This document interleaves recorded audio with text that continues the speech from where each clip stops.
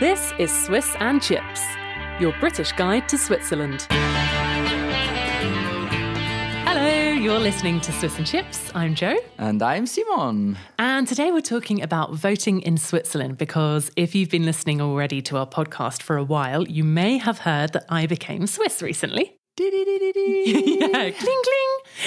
That was a cowbell. Anyway, um, and it quickly became apparent that I would have to exercise my democratic Swiss rights by taking part in a vote. Yes, which you did. Which I did with great enthusiasm. So we'll talk a little bit about that today. But before we get to that, we need your help in settling a little argument that well, has come I about need here. your help. no, I need your help. So when I told people that I had gone to vote for the first time, the first question they came back with, pretty much 10 out of 10 times, not that I talked to so many people about it, but many, was So, how did you vote on blah, blah, blah issue? And I was quite surprised, slash, shocked, slash, ooh, cautious, and slightly scared because where I come from, we don't normally discuss how you voted unless it's with a good friend and you know you're both already on the same side or you're looking for a fight. And I said, this is a total normal thing. I would ask the same because that's like an opening question. It's like talking about the weather. It's like, hey, how did you vote? And then you already have a ground to have a heated discussion or become best friends. Ooh, this is really funny because we have such completely opposing views about this. And that's why we wanted to know what you think. Yes, exactly. So we would like you to head over to our website, which is called swissandchips.com. Yes, all in one word. All in one word. And there you can vote uh, and tell us do you think you should tell people how you vote or not? Yes, and next time we will let you know what you decided and who won. Yes. So please go and vote for me. team Jo, Team Jo, Team Jo.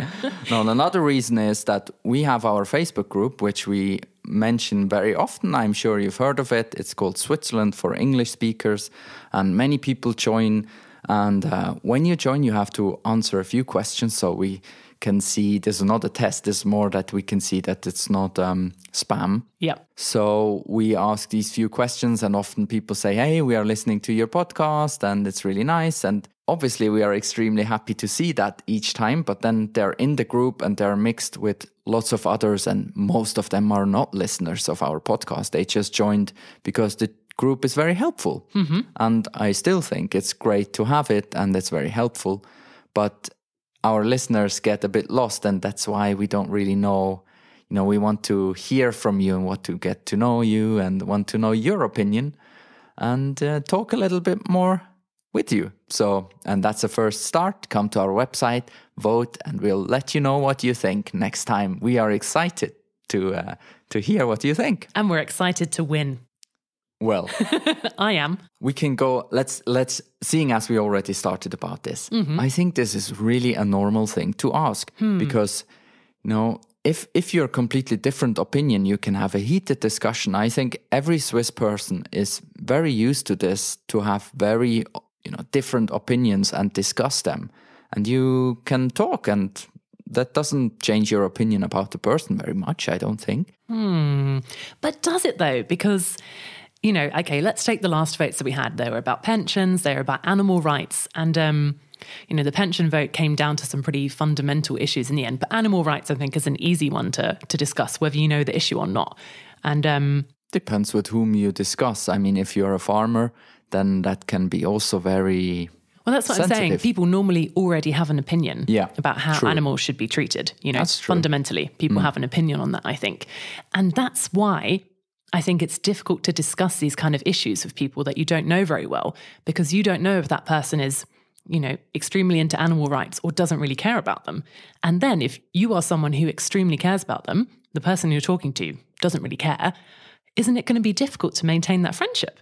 Because suddenly you have, you know, completely opposing views about something that matters to you. Mm, but and that's so, why I don't think you should discuss so politics. you would rather be a friend with someone you don't know. I think you get to know people like that. It's very nice, you know. Yeah. You, you straight away have a good opinion where this people stands, and quite often this is a little bit like if it's such a fundamental question, you already know where this person in general stands about the world views, I'd say. If it's a very left wing, very right wing, or, you know, you can, you, in your head, you can Get a picture of them. yeah, yeah, yeah. Mm. So they're it's all really nice to nice to discuss this, and it doesn't really. That's that's what I meant. I think Swiss people are very used to have friendships with very different opinionated people, and that's why they don't really. That doesn't really matter to me. I'm also friends with people that are very different, have very different opinions to Hmm, like me. me. I'm kidding. Like you in this boat. like me in this vote. Anyway, I hope this gives you a little bit an insight how, how Swiss people think. And that's why they always ask, because it's a good starting point to have a nice discussion, a nice, you know, chat. I just found it super interesting because, as you said, you know, with British people, we often talk about the weather. And this is not just something coincidental. I think it's a topic because hmm. everybody can talk about it and it's very inoffensive. Yeah. And the thing is, in the UK, we're not used to voting all the time. I think that's the difference as well. Maybe, You're yeah. voting four times a year, Yeah, yeah. you know, minimum, roughly. Whereas we're voting maybe every few years and Yeah. Then every now and then on a gigantic issue. Hmm. And I think people weren't used to discussing these things very much. And with the past couple of votes, I don't know about anyone who's listening, but I got stung a few times by discussing these highly um, Brexit, for example. Brexit, for example, springs Mm. to mind, you know, and people you thought you knew suddenly had very different opinions to you. And it was, you know, it was kind of a shock. Mm. Yeah, I think a lot of people went through that. ah, That's a good a good keyword you mentioned there. Um, people you think you knew, and I think that's that's the difference because we also voted about the not the EU but similar like the EWR, and um, it's uh, you know because you often discuss this. It's people you know people already, so you discuss this, but you already know what they're gonna vote.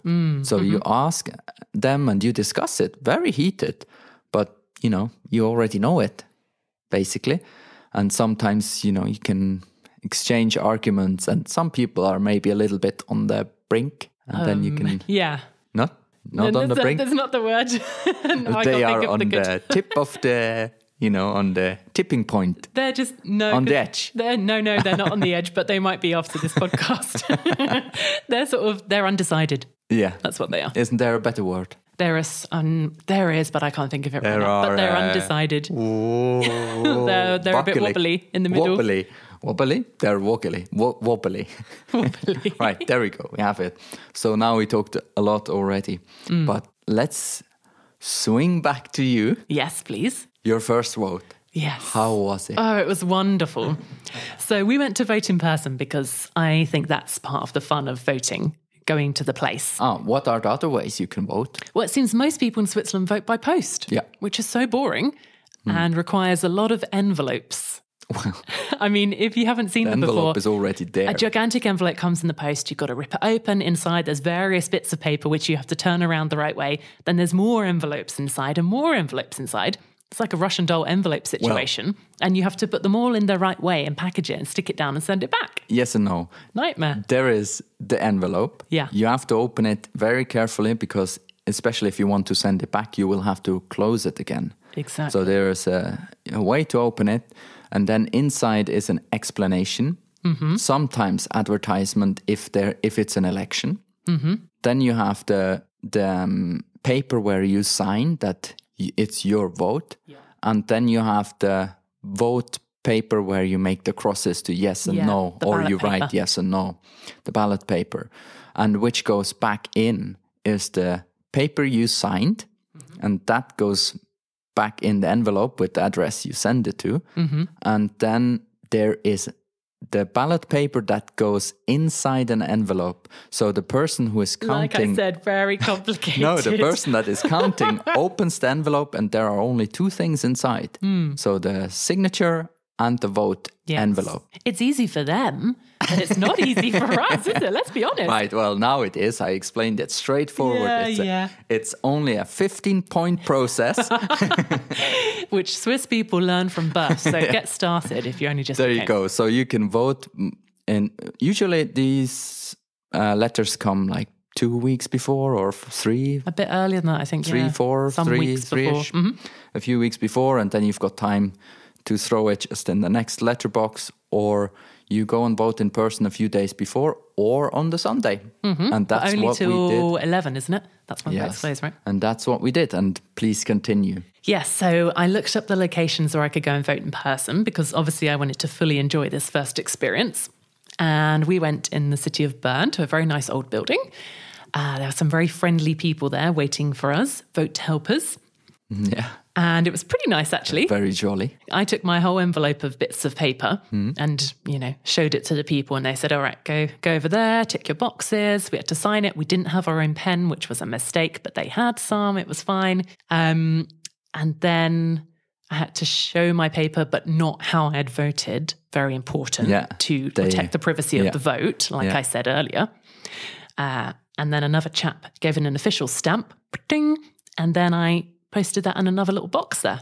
We were done. Yeah. And, There was no one else there. Bob's your uncle. Bob's your uncle, and- Fanny's your aunt. I'd voted. what the other thing is, how was it, the results? What do you mean? Did, you know, how, was it exciting or not? Oh, when the results came in. Um, I mean, it's always extremely exciting when the votes come in from the Swiss vote. Mm. Yes but um, and no, you know, I think. Mm, it mattered more this time because I had actually taken part, and that's yeah. not to be cheesy, but it did. Okay. So that Yeah. was great. And I think for me, it is always quite interesting. You know, it de- very much depends on the topic. And A, is it a topic that really matters? I mean, all of them do somehow, but some One that bit. sort of directly affects Yeah. you, right? And then you've got the other uh, B, it is something that is on the brink. on the On the brink is, you know, about to whoa flop Ah, okay. over and die. Oh, okay. So it's on the flipping side. what? It's, it's a vote no. that could go either way. Yes. Isn't there a better I know you're looking for this nice word, but I can't think of it right now. Sorry. Anyway, Yeah. So if you are on the flipping, s- on if it could go either way, Yeah. then you are also, you know, excited to know is it a yes or no because Mm-hmm. we have always um before Uh, there are sort of preliminary results, aren't there? yes Mhm. uh, that come earlier in the day before the final result. Mm, yeah I mean like the week before or so you've got Ah, yeah. already test- projections or Yeah, they test the water with a sm- with a small sample of voters to see how the vote might turn out. yes and then you've already got an idea if it's quite clear what it's going to be then it's also not so interesting to follow it by the way this is uh, one reason I think a democracy expert told me Yes. uh, why Switzerland is quite stable and companies see it as quite stable mm-hmm. because of these these um, projections that happened before. So companies already know what to expect roughly, and there are not mm. very rarely huge surprises like Brexit. Mm-hmm. You know that's unlikely to happen in Switzerland mm. as such a surprise. It's likely to happen the result, but we would have probably known already before in which direction it could go mm. or that it could be very tight. I think that the thing with Brexit was that it was going to be pretty tight because people were so divided. Yeah, but you thought, but in Switzerland we already know it's going to be tight. Ah, yes, everything is already Yeah. highly organized here. No, I, I just that's a, a democracy expert. uh, Renat Künzi is his name. Yeah. So uh, and he he actually told me that this is probably one reason why why um, companies in Switzerland feel quite safe because there are no big surprises. Anyway, last question about you. This was your first time, and you already mentioned that we can go and vote four times a year at least. Sometimes it's also elections or something happening. In a bonus year. Yeah, a bonus year. um, how was it? When when does when was the first after becoming Swiss? When is the first time you can vote? Because last time we talked about you becoming Swiss, and there were several steps, and there were several letters which said you are a member of the city. Now you're a member of the canton. Now you're a member of the country, and so on. And Yeah. we didn't exactly know when the ballot paper come. Um, well, I got my ballot papers for the vote in September just because I became Swiss, you know, just in time, basically. Okay. It just worked out so by you have to wait for the final final letter and then the next vote it's gonna be it Yeah, I mean, I got the letter that said you'd been accepted, and you know, from that point, Yeah. I was Swiss. Yeah. and obviously that was far enough in advance before the papers had been sent out, so my luck was in. all right Yeah, i hope we uh, answered all the questions in case you have any go to our website which is called swissandchips.com and you can comment there and we talk about this next time let us know And now it's time for learning Swiss German with Schweiz und Pommes frites. Shouldn't it be um, Sch- Schweizer and pommes frites? Well- Schweizer and pommes fritin. exactly, yes. I hope people get what I'm saying. Yeah, so it's Swiss and chips in Swiss German. Anyway, that's Schweizer and pommes frites. yeah, this is not the Swiss word. The Swiss word is fitting to the season. Mm-hmm. Gfröörli. Say that again. Gfröörli. Okay. Written is capital G F R O umlaut O umlaut L I. Isn't that Gefühli? Really? Okay, uh, so this is the fun part of the podcast where I have to guess what Swiss German words mean. And I'm going to guess it means something like um, little frozen person. Mm, Very close. Yeah? Very close. A Gfröörli means someone who is always a bit chilly. Ah, one of those. Hey, that's a great word. You are such a Gfröörli means you're always, you're such a. yes, I know those people. They're people like, oh, it's so cold in here. Can't you shut that door? There's such a draft. Yeah, you Or know like, them because you I live with one. That's, that would be me.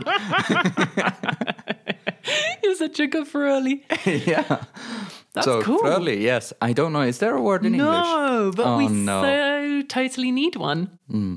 How about uh, I think we just Shivery. call. I think we just call them a whinger. Hmm, not a not a shiverer? No, no, no. A, a whingy moany person. How sad. Time to get a jumper. Hmm, maybe we can find a word for this. Yeah. Whinger is I'm just joking. okay. Yeah. Don't joke like that. I will use this word. I, I know. Don't, please. All right. So that's it for today. Thanks for listening. Don't forget to go and vote on our website. Yes, vote for me. Bye. Bye.